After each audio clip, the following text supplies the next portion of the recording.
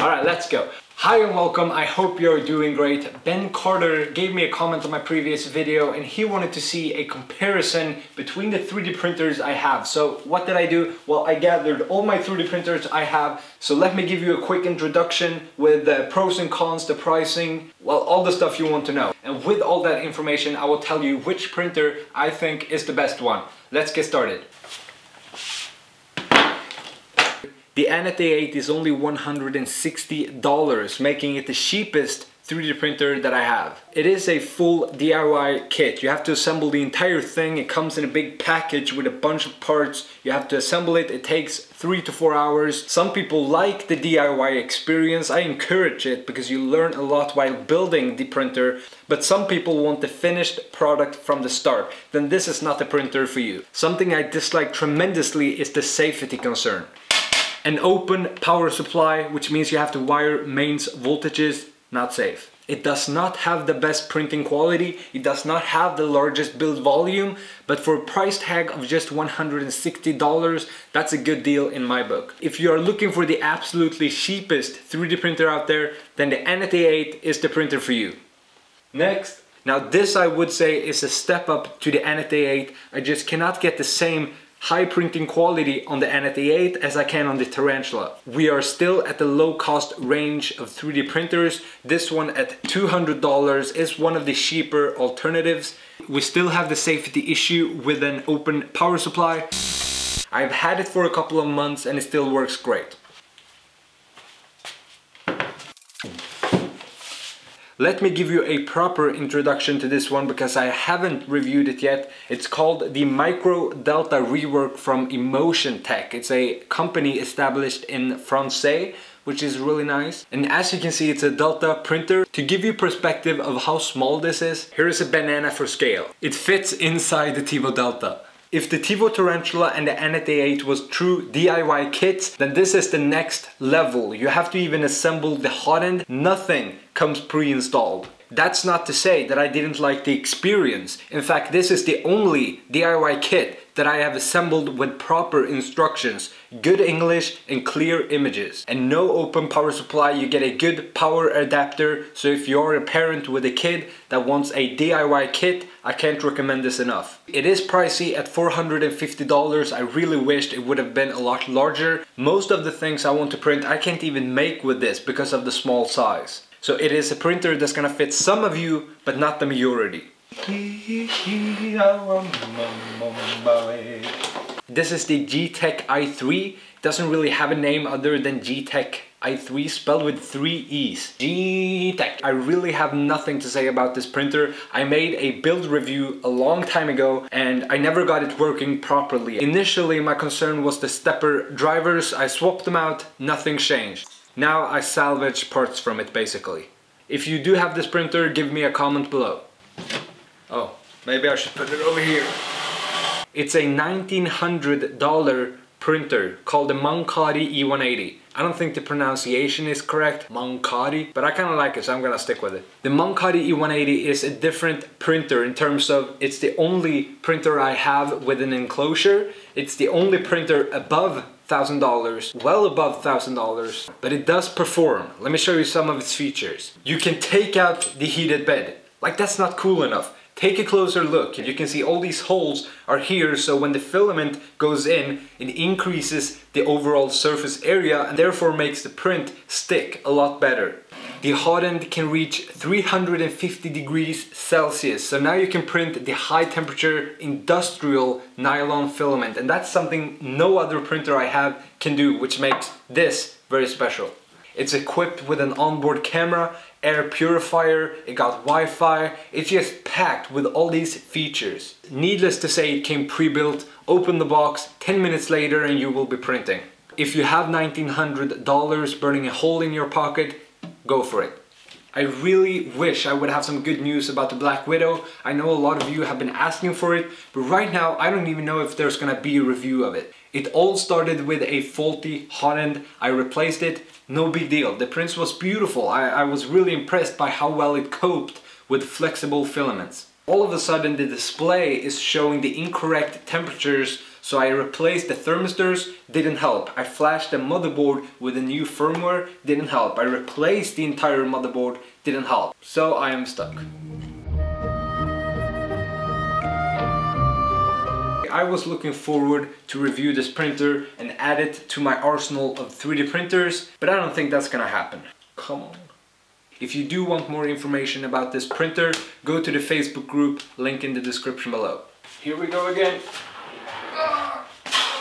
gosh. The Tevo Delta is $900, it's the fastest one and it's the one with the largest printing volume.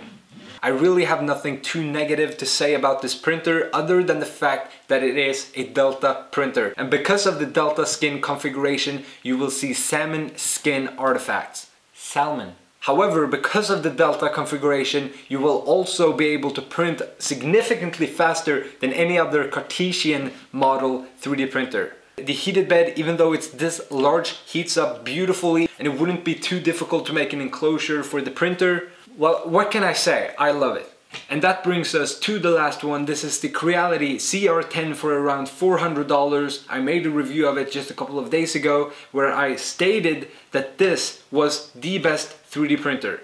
Let me explain. The best 3D printer from my perspective is the one that the majority of my viewers could benefit from. A couple of months ago, that was the Tevo Tarantula. It's a great printer for $200 and it's a DIY kit that performs remarkably good. And now we jump forward a couple of months and we have the Creality CR10. With a massive build volume, the construction is sturdy and not to spoil anything, but the electronics in here does look pretty good indeed. And with all these improvements over the Tevo Tarantula, I would now consider this to be the new benchmark, the new, the new affordable and the new best 3D printer for the majority of you guys. I sincerely hope that answered your question, Ben. Thank you very much for posting a comment. I would be crazy if I didn't take the opportunity to start all these printers at once, printing with the same filament and the same model so we can compare the printing quality of each printer. Let's go. This here is what we will try to print, a small, red, beautiful, beautiful looking fox. Alright, this is starting six printers as fast as I can. Let's go.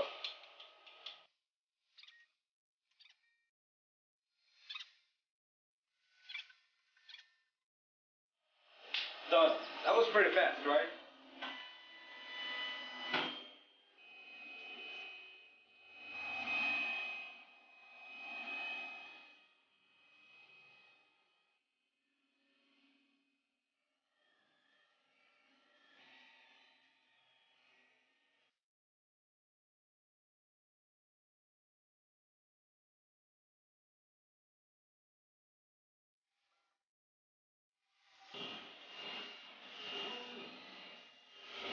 We are about halfway finished and not too surprising, the Tevo Delta seems to be having first place right now regarding speed. When it comes to quality, I have to say the CR10 looks pretty, really quite nice.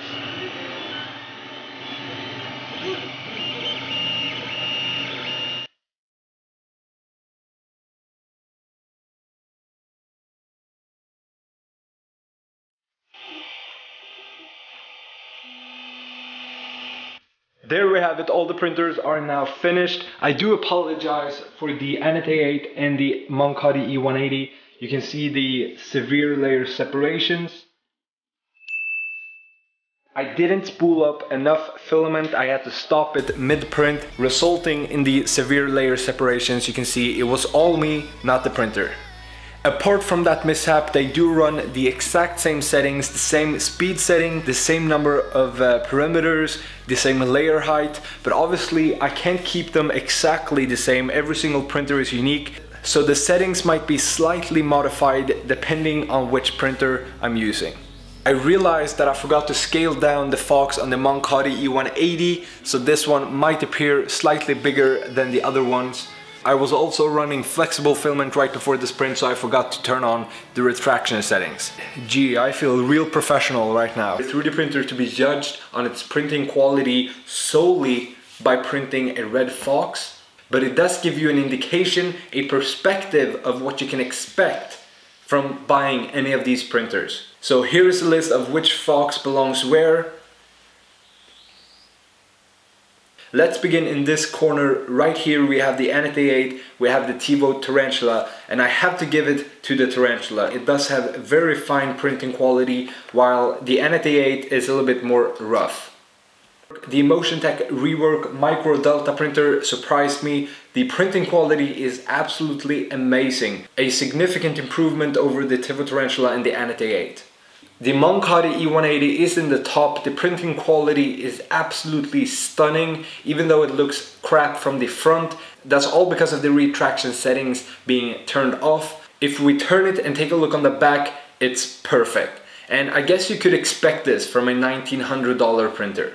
The Tevo Delta did such a good job, especially considering it was done half an hour before any other printer. Though I have to say that it doesn't match the printing quality of the CR10. It's mind-blowing how well it puts down each layer almost so it's invisible even at 0.2 millimeter layer height. Awesome. Which one is your favorite? Let me know in the comments below. Have a nice day.